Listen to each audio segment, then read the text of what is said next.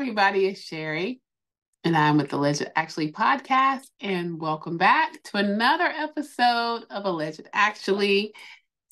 Today is Monday. It's Easter Monday. And I hope you guys had a great weekend, a great Easter weekend, spending time with your family. Um, I did the same. We did not do pop culture Saturday because of that, because we had family in town and we had a wonderful time. I trust you did too as well. So, guys, before I get into my content, because today we will be recapping Real Housewives of Potomac um, reunion part one. But before we get into that, I would like to get some admin stuff out the way. So, if you are here and you like reality TV recap content as well as pop culture, you found your home. So, honey, just go ahead and subscribe to us, y'all. Let's don't prolong the inevitable. Hit that like button and then hit that notification bell. And also, I would like for you guys to put in the comments, like after I share with you guys my thoughts on the uh, reunion part one, put in the comments what you think. Where are you feeling about it? Um, do you disagree? Do you agree? What are your thoughts? Let's chat about it because, like I said, we read all of your comments and we try to answer back to all of them. So put it in the comments.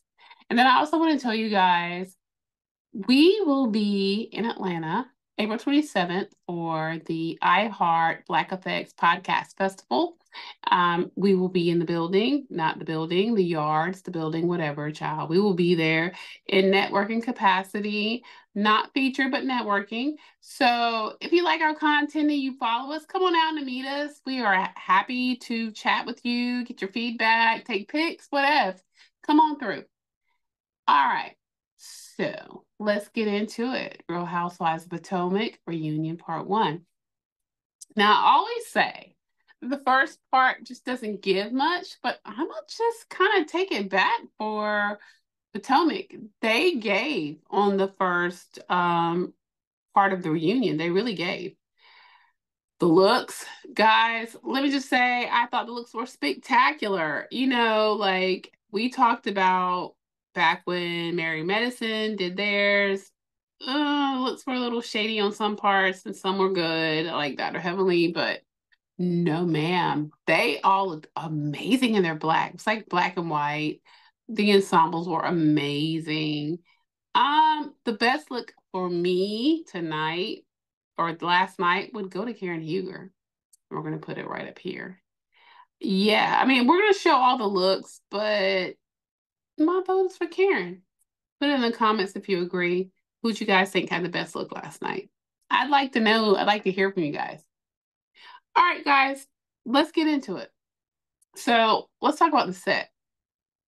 So the set were the big pictures from the Monarch magazine photo set. And honestly, they were beautiful. Always thought, and I told you guys from the finale, I thought that was an impeccable job. How they capture the ladies, you know, um, Ashley is Dorothy Dandridge, Robin is Mariah Carey, we had Gizelle as Beyonce, that's that and through. But the, Karen is Lena Horne. I mean, it was gorgeous. So they had the big life size pics behind them, and they had Nneka, honey, as the grand dame.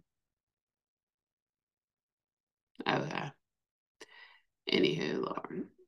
That was to help her feel better because she wasn't at the photo shoot. Anywho, all right, guys. So, ladies come to set.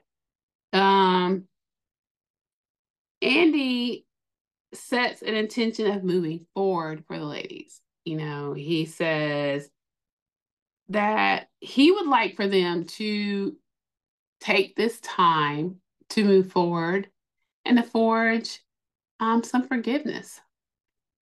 Now, Andy is messy, but I will say for this particular reunion, part one, I think that he's echoing what we all have been feeling. We were all so disappointed in this season. Um, he would like to see the ladies like make amends get past some of the dumb stuff that has spilled over into the season from last. You know, like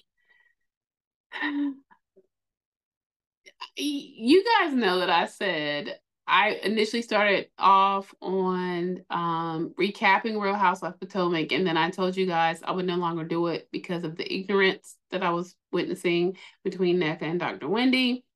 Among other things, it was just boring. It was just not giving. The ladies were not progressing. Just wasn't giving me what I wanted it to give in order to bring the content to you guys. I didn't feel it was worth it the last the finale the finale with Mia and Gordon's revelation and even the fight so that I could talk about how I think Bravo needs to change things made me come back to it. So that is why I am recapping this reunion, guys. And like I said, if I find that it does not serve you or me, it will be nixed and we will go on to something else. But Andy did say that he would like to start the tone of the reunion with the intention of moving forward in forgiveness, which I thought was great. Um, and Karen's like pops in and says, Yes, I have no doubt with the girls, you know, we can all get there, we can all get to forgiveness. And, you know, I think that everyone here, you know, can chime in. You have no doubt, you know, how Karen does, because remember, she's Switzerland. And then Candace pipes in and says, "Yep, I can. I can certainly get there with my accountability. Ashley as well." And then he asked, Andy asked Gizelle and Robin because they were so so silent. Where are you guys at in that? And they said, "Oh no, yeah, we are looking forward to the accountability." Mm-hmm. Okay. So then, sadly, child, they go to the scene where the ladies are on vacation and Dr. Wendy talks about who's in line with Robin said about swallowing. I don't have time for this, but we are all grown. Um, I know that sometimes they do stuff for like shock value or excuse me, God. Um, but it's a little crass to me. I don't know. Anyway, that was Robin's thing. Robin said she swallows. Okay, Robin. It clearly it's not working. Um, but Karen then was asked how many sexual partners she had. And then she was like, Was that does that include my wet dreams? And Dr. Wendy said no. And then here comes Robin. Child, somebody should have. Someone should have warned her that you don't come from Karen when your house ain't right. She says, Well, then, that means you don't know how many partners you've had. And she said, No, that's one.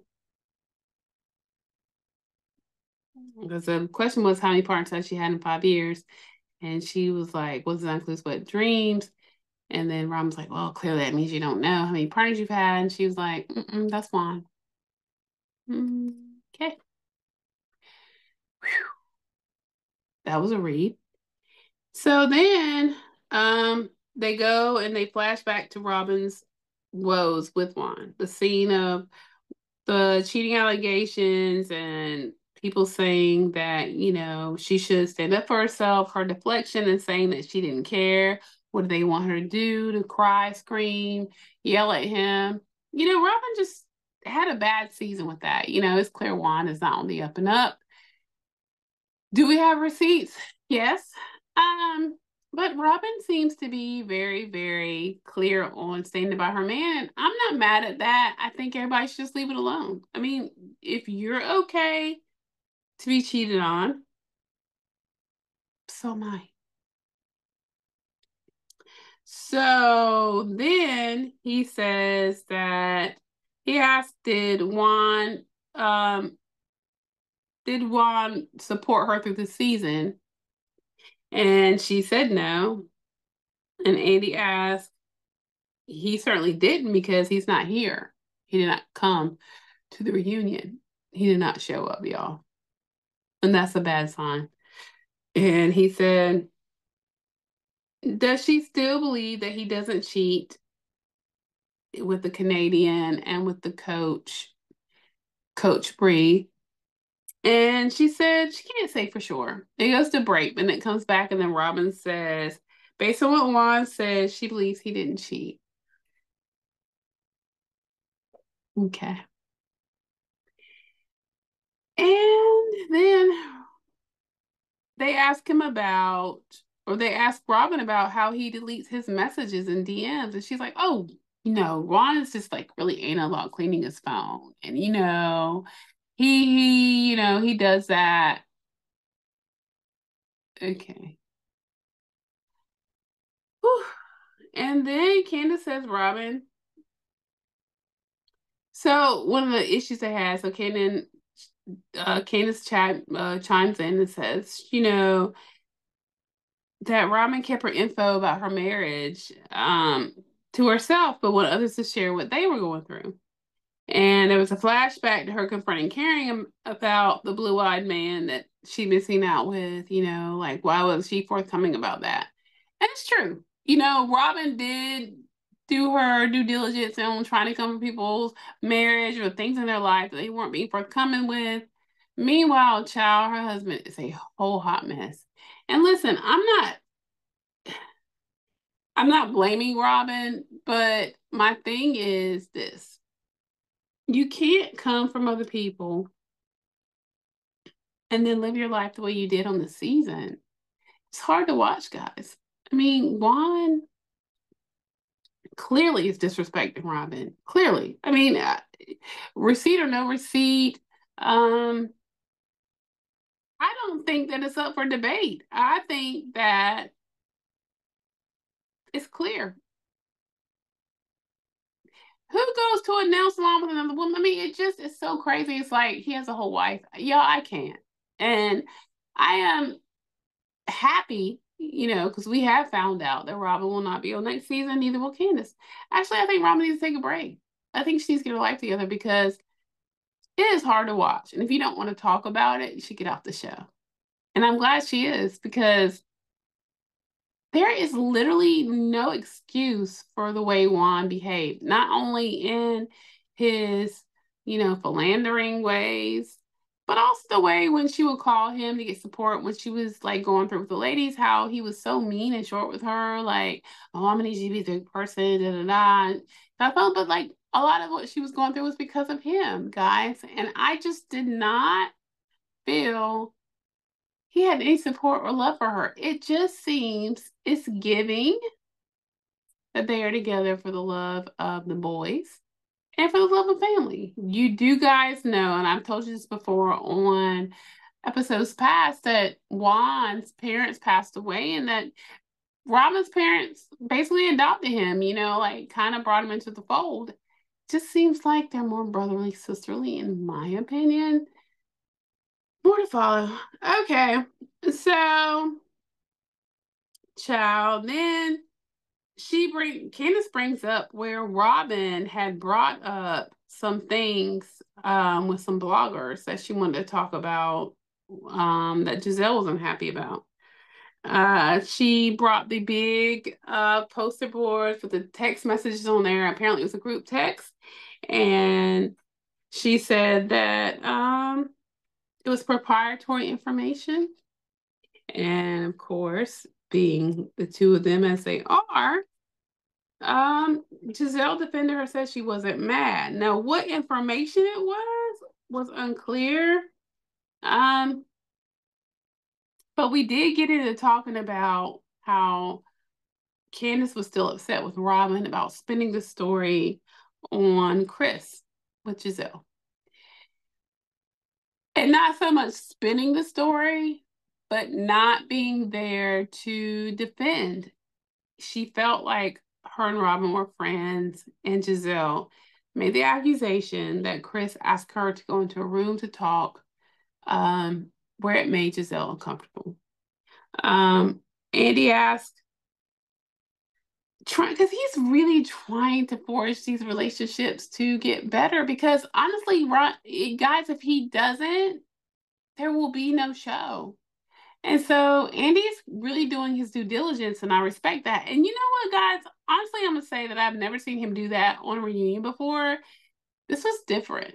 This means that Potomac was really at a crossroads and something had to give, or I think they're teeter tottering on the cusp of perhaps getting um possibly disbanded, like canceled. They have done some sh- uh, cash shakeups, but it is a lot. You know, we have some stubborn women on there, and I understand their stances. Gizelle shouldn't have said what she said if it wasn't founded, but at some point, if this is your job and this is your coworker, I mean, you can agree to disagree and like, you know, work, whatever. But guys, it was giving a lot. Um, so Andy asked what Robin needs from her, meaning from Candace. Really, you know, because Robin is a dance arounder of a question. We all know that. So basically, Mia chimes in and says, well, what she really needs from Candace is accountability. And what Candace needs from Robin is transparency, which is a good, honestly, a good revelation. That is what they truly need. You know, Candace picked out the whole triangle napkin for the question, you know, the whole nine. And um, Gizelle was like, "Oh God, not again!" You know, bring it out. And she was like, "F you, Gizelle, F you, Gizelle. Just between those two, I honestly don't see it getting any better. So I really think that Gizelle leaving was probably the best thing. I really do. Um, then we go on to Karen's triple 20 party. And Karen admits Oh, they asked Karen, like, has she had anything done? Karen looked good. First of all, like I said, when I talked about the looks, honey, Karen gets the looks hands down. She had the cute little pixie cut too. It was really, really cute. And they asked her, has she had anything done, any work? And she has had a facelift, y'all. Mm-hmm. Mm-hmm. And quite frankly, it looks good. She looked amazing. Um, so then Andy asks if Candace thinks that she's a fence hopper. And she says yes.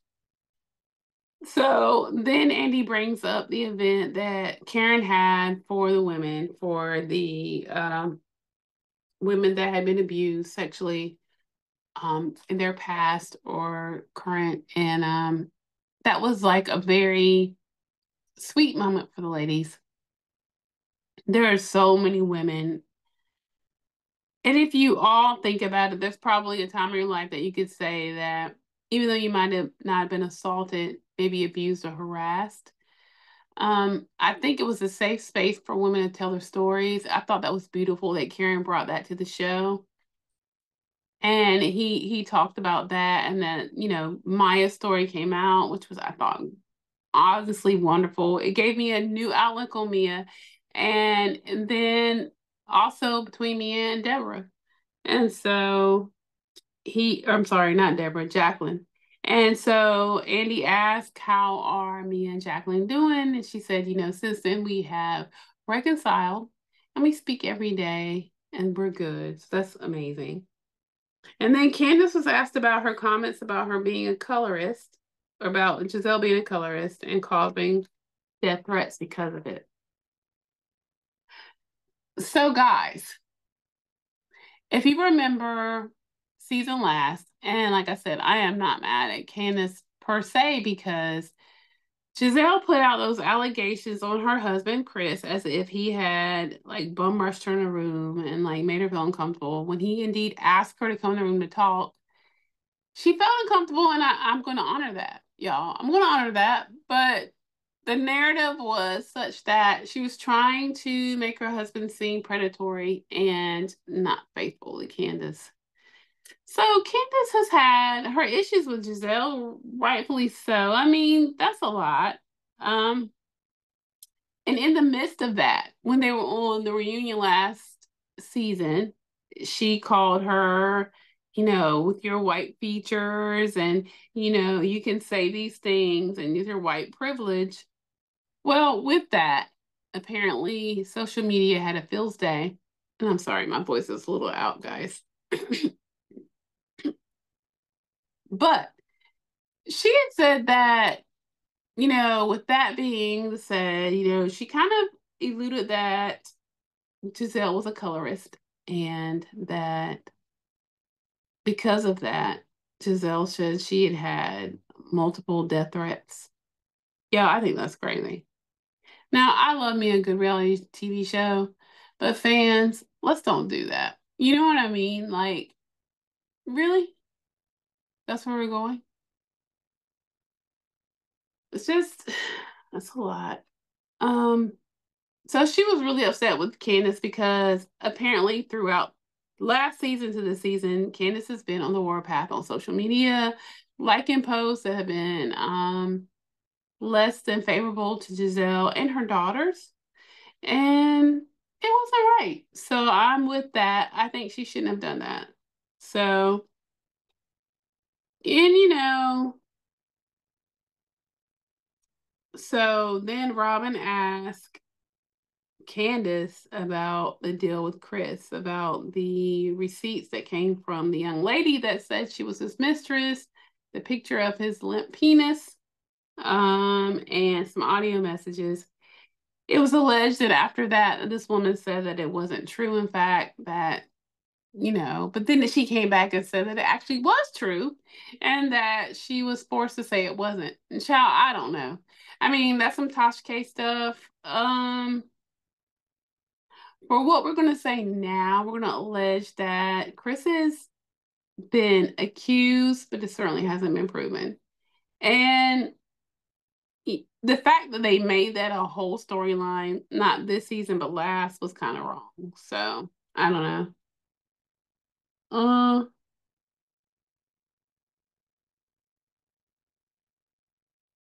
all right.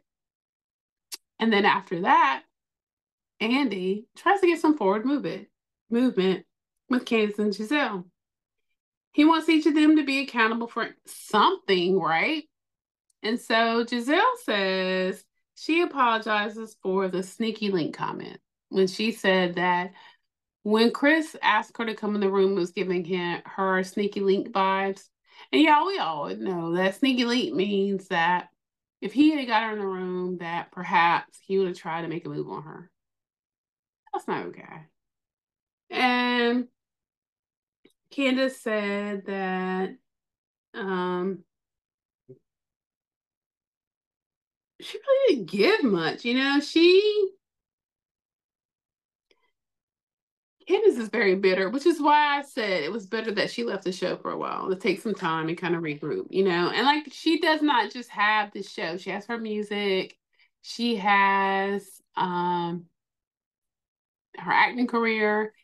She has done her due diligence is using this platform to help build her brand. So I don't know. I mean, she seems extremely angry, y'all. I don't know. So she did say that she did apologize for her colorist comments and the fact that her and her kids had death threats. She did apologize for that. So that was something, right, guys? And then, so basically, on the next part, they talk about the fact that Candace had a lot of tweets on the things that she ranted about with Gizelle. And they were like, you know, the fact that you like them maybe alluded to or added to the fact that, you know, Gizelle was having a hard time with social media and death threats. Um,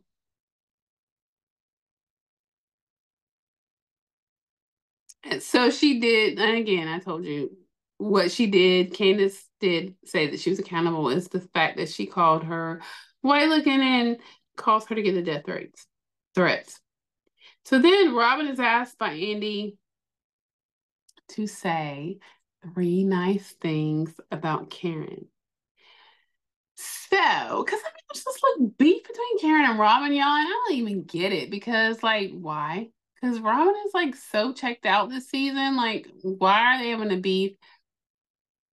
My thought process is that Robin did come for her hard last season, season before, like when she moved and she brought the pizza to the place. And then last season, she was all about the blue eyed man. Eh, child, I don't can't say I blame Karen too much. You know what I mean? But she said that Karen was witty, that she absolutely looked great for her age, and she was a good mother. So Andy asked Robin the same to say three th- nice things about Karen.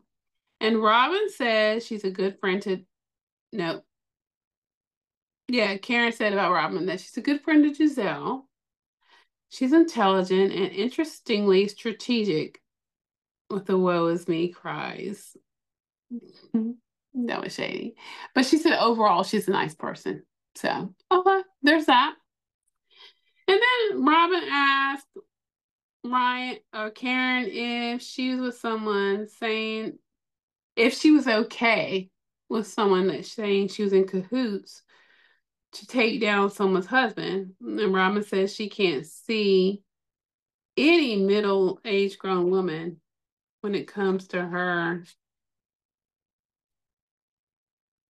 husband, whatever. So what she was trying to say was, you know, Karen didn't have her back when Gizelle was, I mean, Candace was basically putting her out there saying that she was in cahoots with Gizelle on talking about Chris and, you know, disparaging his name regarding the uh, mistress and, you know, her her husband being in the midst of an affair. And Karen really said nothing, child. She she gave her nothing. So then, y'all, the biggie happens. Gordon enters the room. Amia's on the phone with Mr. Ink. And, honey, they're on FaceTime. And Gordon speaks. So apparently, from the finale to now, there's been some changes. Okay. And so then Annie talks about Mia and her crumbling house, um, the failing business. They were removed from the family business by his by Gordon's brother. Me and Gordon talked about divorce, and he wanted to make an agreement that benefited both. In that scene, you know, we talked about this last time. This was prior to that scene from last um, week, though. He said that if we were going to, because she had clearly did mention divorce twice before we got to that scene um last week. Which leads me to believe that, you know, Mia was ready to bounce long before. I think Gordon was holding on, trying to find something that would suit them both, that would benefit them, and that would keep them together for their kids. I think Mia was pretty checked out. Now, you know, like people say, oh, she's a gold digger. She was this. They had an open marriage. And I think they did have an open marriage. But I do think that Gordon was not forthcoming with her on everything that happened with the family business. I think that from what I have done my research on and the receipts I've gotten is Gordon gambled away a lot of his money. And the family thought he was a liability to his company and they let him go. Now, again, if you're married for love, none of these things matter. You will you know, rally with your man, whatever. But in Mia's case, they had an agreement. And he didn't hold up to his side. So I don't know, y'all. I mean, uh, I'm on the fence. I think I felt really bad for Gordon last week. Um, but I also think that those conversations were had between them. And I do think that Gordon had a uh, some things that he did not that he was not forthcoming with me on regarding his family business and their money and to lose money like that and whatever.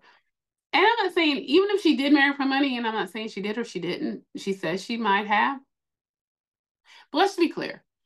Even if she didn't, and you had a businessman that you were living in this lifestyle and he had to go down here because it's something that seemingly was on him and that he doesn't take accountability for it and he's suing and it's all weird and he's like not owning his part in it.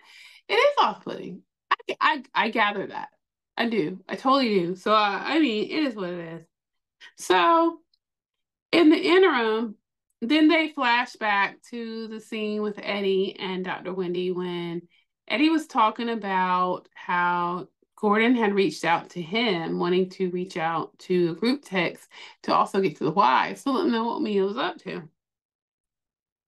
So then they talk about with um, Mia that Ink still thinks that Jeremiah, her son, is his son.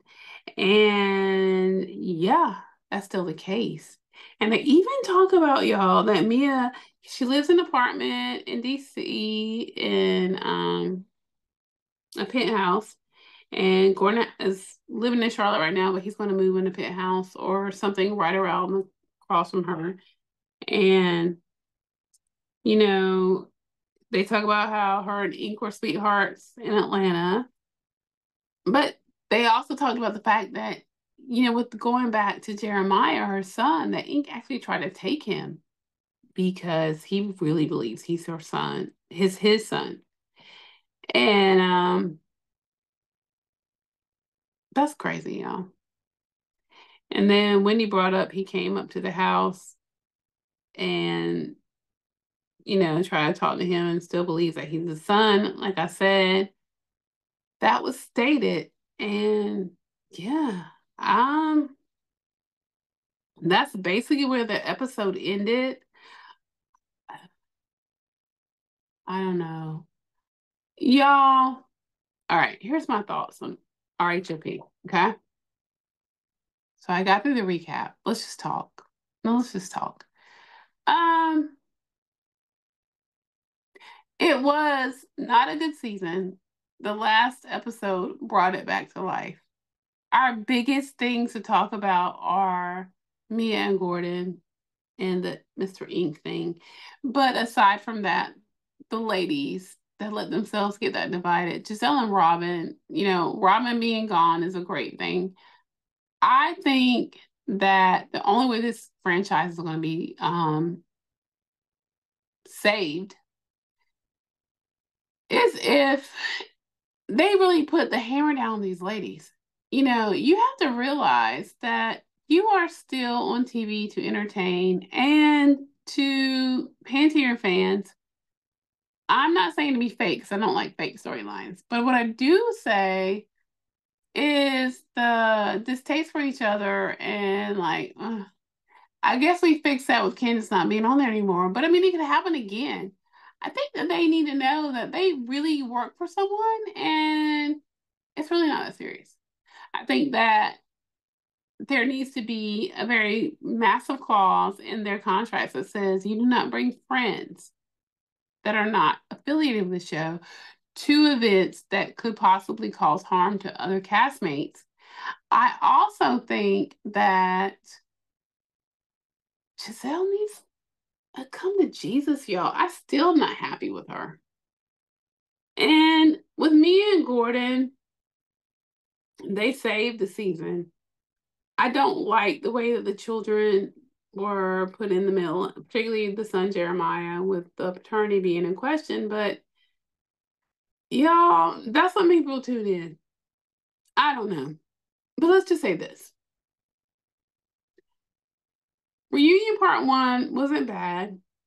I'm to tune in for part two. I'm to keep um, recapping. I'll bring it back to you guys on next week and we'll see how we feel about it. You know what I mean? And, you know, I told you if it doesn't serve us, I'll stop and we'll go on over to Martha's Vineyard. But for now, put in the comments what did you guys think about reunion part one? Let me know. Who did you think had the best look? Because I'm down for Karen Huger. And let me know what you thought about the Candace and Gizelle beef and Robin's antics, child. What do you think? What did you even think about the way that Andy was questioning him? That was some very different questioning that he normally does for Housewives. So what you guys think that means? I'm almost wondering if Real Housewives of Potomac is on the cutting floor of being canceled, period. Guys, put it in the comments. I don't know. Let me know what you think. But as always, thank you so much for tuning in. Now, we are in the midst of reaching our next goal of 3,000 subs. Guys, please, if you like it, of course, hit the like button and then share it with the masses, please. Share with your friends and family. When I find something good, I like to share with my friends and family. So share it, guys. Share it. And let's just see. We really, we are close, but we really need your help. Get us to 3,000 subscribers. So thank you so much. And remember, guys, hit that notification button. That way, whenever we upload a video or we go live, you'll be the first to know. So thank you so much, guys, as always, for tuning in. We appreciate every last one of our subscribers. Thank you, fam. Thank you, Alleged Actually, our actualizers. And um, for now, I'm to say goodbye. I'll be back on Thursday with Bria recapping Married at First Sight. Come on back. Let's talk about it. Thank you guys for your time. Bye.